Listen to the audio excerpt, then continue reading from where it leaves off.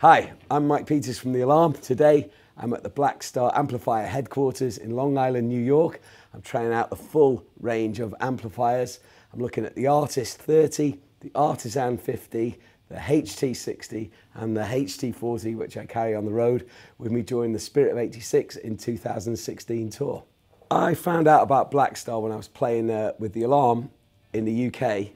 Uh, we were touring with the Stranglers and uh, the Stranglers had had a white backline made by Black Star, and uh, it sounded incredible. And uh, I just thought, I need one of those. And uh, so I um, approached the lead singer about getting plugged into Black Star and made contact with Black Star in the UK. And uh, they, they kitted me out with these uh, red HT40s, limited editions.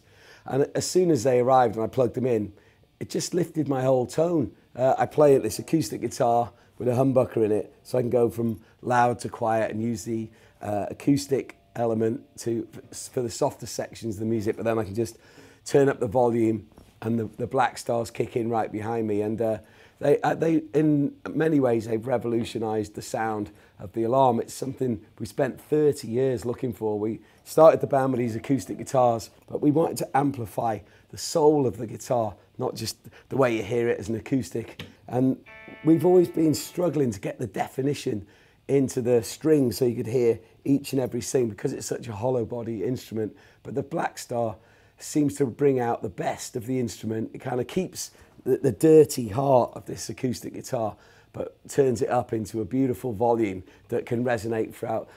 In particular, we've just done a big tour of Britain and we played at Brixton Academy, Manchester Apollo, Glasgow Academy, massive gigs, but also played at Glastonbury Festival, we played at Carfest to 35,000 people.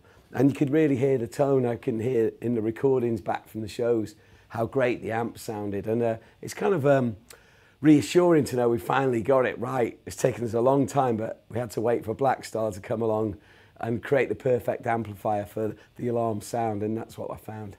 In 2007, I started a charity called the Love Hope Strength Foundation, and its uh, mission is to get as many people onto the International Bone Marrow Donor Registry to save lives of people like myself who have leukemia who might need a transplant for a second chance at life. And uh, it's been an incredible journey because uh, through utilising the power of rock and roll, been able to amplify the voice of the charity that it's taken us to some incredible places like Parliament in the UK and more recently we were at the Capitol building in Washington DC, signing up congressmen, congresswomen to the list, and uh, getting plugged into the, the beautiful idea of the, the vice president's cancer moonshot, which I think is a great message to put out to people like myself who are fighting to stay alive. We're hoping for those innovations that are going to come along that have they've come along in my time. I've lived with leukemia for 20 years, and the innovations have kept me alive. They kept me one step ahead of the bullet, if you like. I've always been able to outrun it, and, and to make a, a, a mission like the Cancer Moonshot that can advance these um, changes to to benefit people's lives. I think it's a beautiful thing. So I'm right behind the cancer moonshot, and that's what we were doing at Capitol Hill Building. I had my crew wearing their black shirt, uh, black star shirts. So uh, you know, we, it was all part of amplifying the message, and that's where Black Star come in.